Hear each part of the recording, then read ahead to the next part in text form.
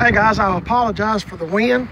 I just met this feller and he's got an 83 Chevy Blazer with a 350 in it. I seen it as soon as it come in the driveway here. We're we're doing the old Highway 11 yard sale just a little bit. I seen him come pulling in. I asked if he had any spare parts, and he said no. Said I've put everything into this one, but isn't this thing a beauty?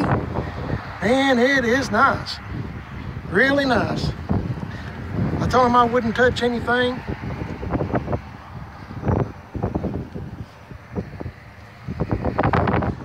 Good looking vehicle. Sounds good too. I wish I wish it was still turned on.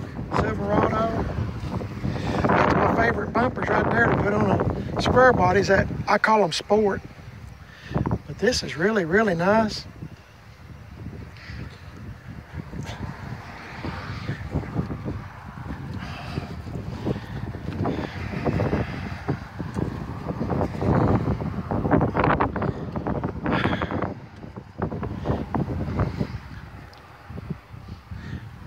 Wish I had it and it was paid for. That's some of my favorite sayings.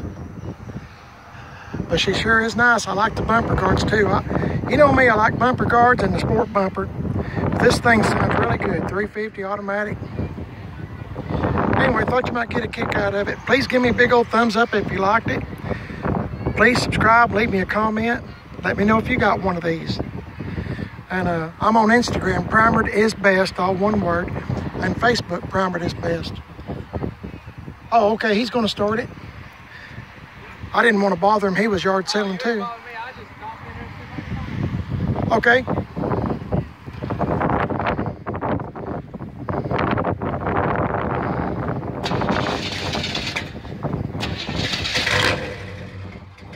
Man, she sounds good.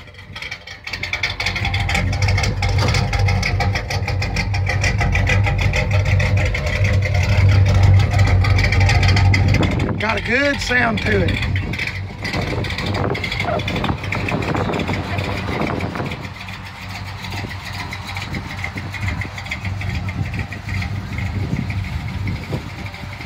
Okay, guys. Be sure to subscribe and leave me a comment. Give me a big old thumbs up if you would. I appreciate it. Y'all have a great day. Stay safe. I'll see you later.